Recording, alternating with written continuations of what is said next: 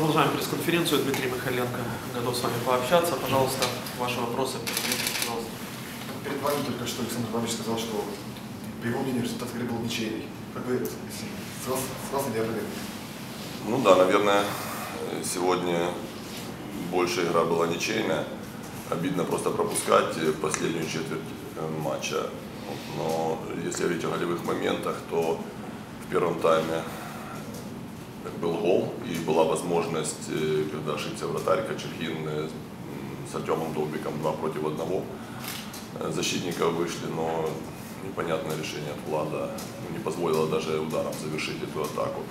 Во втором тайме у нас уже не получалась контр-игра из-за ну, большого количества брака неправильных решений до удаления, наверное, Хачалавы. Потом стало получаться у нас какое-то давление, были возможности, там удар Баланюка в руки после стандарта, была возможность там, при фланговых э, атаках пробить поворотом, но если говорить о голевых моментах, то, наверное, больше не было.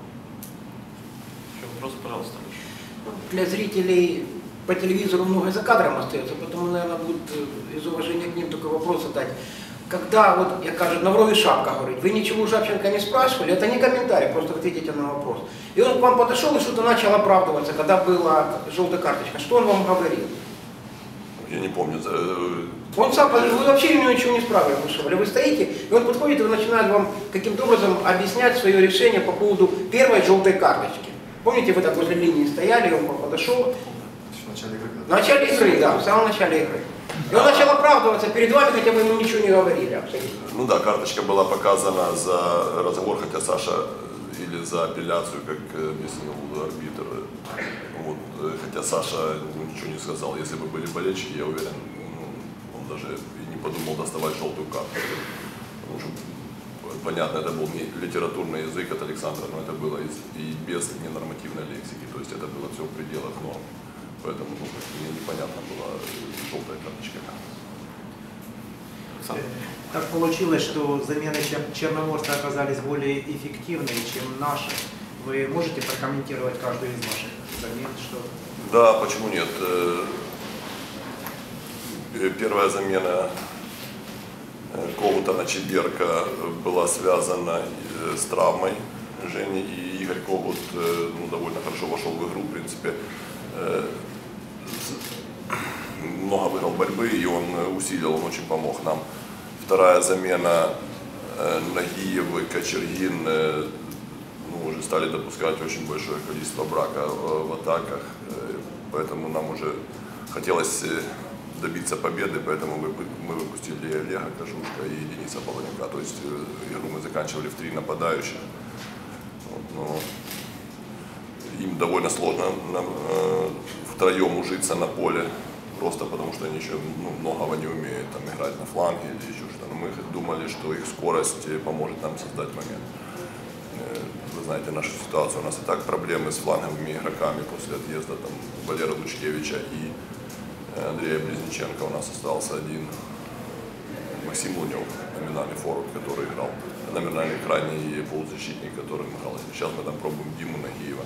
Поэтому если кто-то из них устает и нам приходится выпускать, то это люди, которые не по природе своей край, крайние полузащитники. Но пытаемся выходить из ситуации таким образом. Еще вопросы? Дмитрий Станиславович, э, прокомментируйте у нас, прокомментируйте, у нас два форварда, и если нападающий забивает, это уже хорошо. Э, Баланю, которому очень много авансов было, э, сейчас выходит на замену, понятно, там свои какие-то критерий этого всего, э, но сама игра Баланюка как нападающего. Человек выходит на замену и, ну, по крайней мере, с трибуны, его действия не очень активные, скажем так.